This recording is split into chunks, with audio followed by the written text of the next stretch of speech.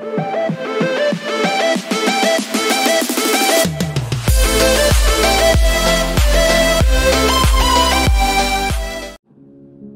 ప్రైజలో Bible Telugu audio YouTube channel వచ్చిందండి. ఎంతో మంది మరి మన చదువురాలు మేము వాక్యం ఏ రీతిగా నేర్చుకోవాలి వినాలి అనే ఆశ కలిగిన వాడికి మీ ముందుకి ఈ యొక్క ఛానల్ తీసుకొచ్చాను.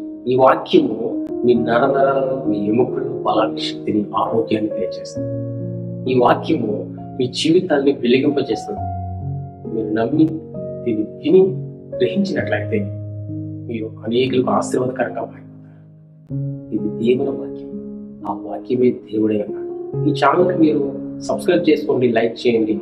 అలాగే ఇంకా ఎవరైతే వినాలో వారిని కూడా మీరు పంపించండి.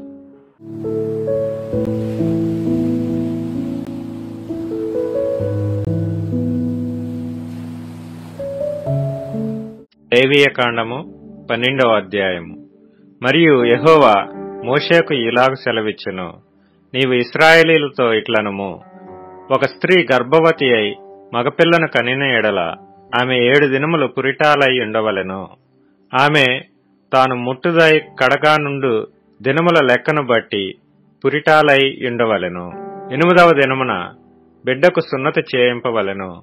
ఆమె తన రక్తశుద్ధి కొరకు ముప్పది మూడు దినములుండి తన రక్తశుద్ధి దినములు సంపూర్ణమగు వరకు ఆమె పరిశుద్ధమైన దేనినైనను ముట్టకూడదు. పరిశుద్ధ స్థలములో ప్రవేశింపకూడదు. ఆమె ఆడపిల్లను కనిని ఎడల ఆమె తాను కడగా ఉండునప్పటి వలె రెండు వారములు పురిటాలై ఉండవలెను. ఆమె తన రక్తశుద్ధి కొరకు అరవది ఆరు దినములు కడగా ఉండవలెను.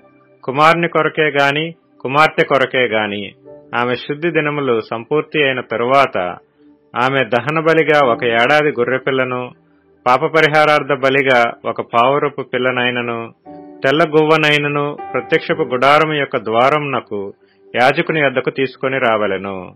అతడు యహోవా సన్నిధిని దాని నర్పించి ఆమె నిమిత్తము ప్రాయశ్చిత్తము చేయగా ఆమె రక్తస్రావ విషయమై ఆమె పవిత్రపరచబడును. ఇది మగపిల్లను గాని ఆడుపిల్లను గాని కనిన స్త్రీని గూర్చిన విధి.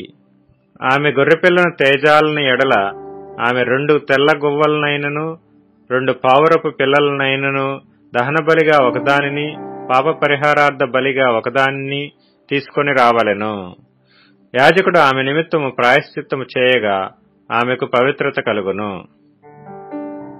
ఈ ఎపిసోడ్ మీకు నచ్చినట్లయితే లైక్ చేయండి షేర్ చేయండి సబ్స్క్రైబ్ చేసుకోండి. అలాగే మీ ఫ్రెండ్స్ కూడా షేర్ చేసి కింద ఉన్న లింక్ ద్వారా మీ యొక్క ప్రార్థన రిక్వెస్ట్లను పంపి మాకు తెలియజేయవలసిందిగా కోరుతున్నాను.